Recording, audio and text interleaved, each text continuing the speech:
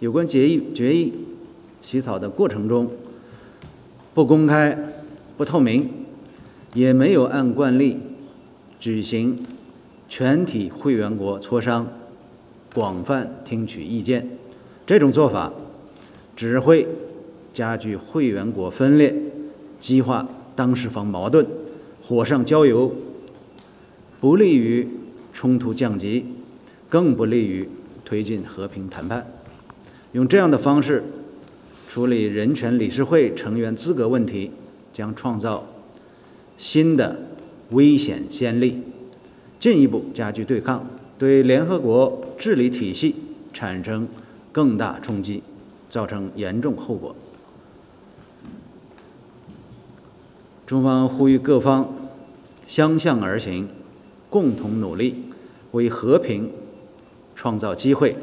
为谈判开辟前景。